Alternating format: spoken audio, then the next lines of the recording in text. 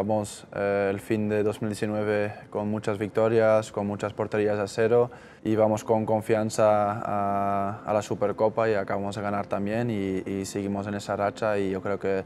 eh, lo estamos haciendo muy bien y hay que seguir en esa línea. Yo quiero ganar todo y, eso intentamos hacer y por eso este año estamos todos ahí luchando para, ganar todos los trofeos posibles. Eh, ya hemos ganado el primero y y por ejemplo el miércoles en Copa pues queremos avanzar para otro reto más y, en Liga seguir como estamos haciendo y luego a finales de febrero viene la Champions contra un eh, adversario también potente, eh, así que bueno, con mucha ilusión de, de seguir eh, luchando para todo. Cumplirlo y estar aquí y ganar, por ejemplo, ya dos trofeos y, ahora, por ejemplo, ser líderes, pues es, es muy bonito y cada día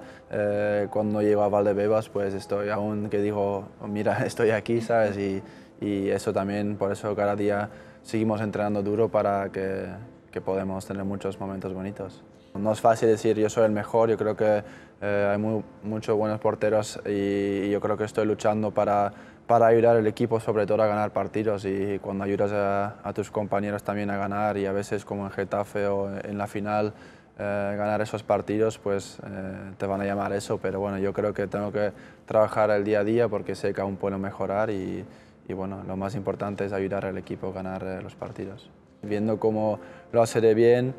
eh, pues te empiezas a fijar en Iker y por eso te empiezas a fijar en el Real Madrid. Y mi madre, que es fisioterapeuta, eh, tiene,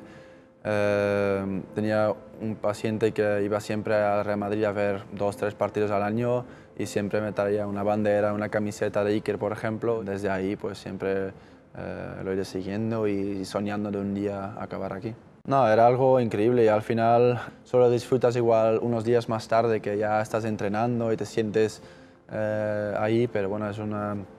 era una presentación bonita también con la familia, amigos cercanos y, es algo, como ya dije antes, que es un, sueño que, que, cumples y, bueno, eh, llevaba deseando tiempo y al final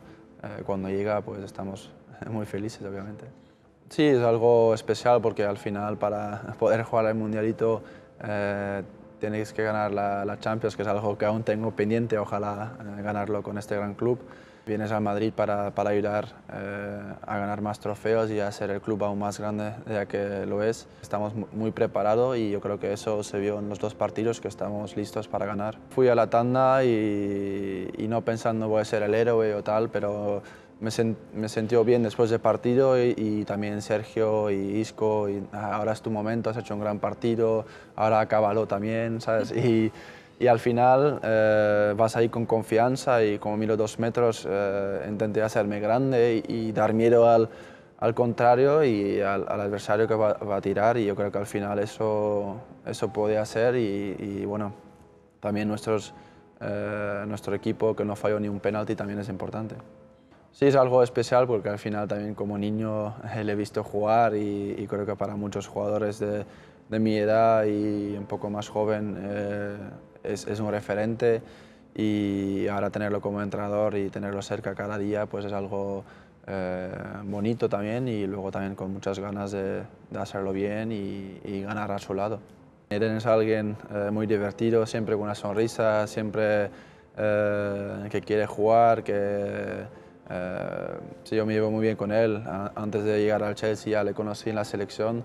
y luego, bueno, cuatro años en el Chelsea también y somos muy buenos amigos, la familia también y nada, nos llevamos muy bien y es un gran jugador, una gran persona y bueno, espero que, que vuelva pronto la lesión y que nos pueda ayudar a, a ganar más partidos. Como siempre he dicho, no solo el portero que cuenta en eso, ni solo el defensa, somos 11 en el campo y si defendemos eh, bien los 11 eh, vamos a encajar muy pocos goles porque creo que hacemos un trabajo muy bien en el campo y, y luego bueno, cuando alguna vez pues llegan a la portería pues intento pararles y bueno, yo creo que eso es, es importante. Eh, como ayer,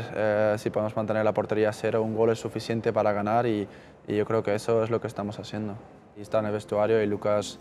me lo contó y no me lo creí y dije, no puede ser. Y bueno, también como a mí yo amo el baloncesto y cuando yo empecé a ver el baloncesto era cuando los Lakers eran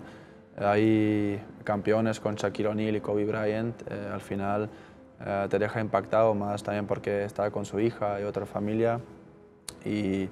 y qué significa Kobe Bryant. Creo que al final es alguien eh, que creía mucho en sí mismo, que jugaba todos los partidos que voy a jugar porque él no quería dejar ni un minuto de, de disfrutar lo que él ama y luego su mentalidad de trabajar cada día, creo que todo el mundo habla del Mamba Mentality porque es, es, lo que él tiene y también luego el espíritu de ganador y por eso es una pena que él no, no lo pueda transmitir más, pero bueno, creo que todo el mundo eh, va a recordar su, su leyenda y, y, vivir con sus, eh, sus valores, creo.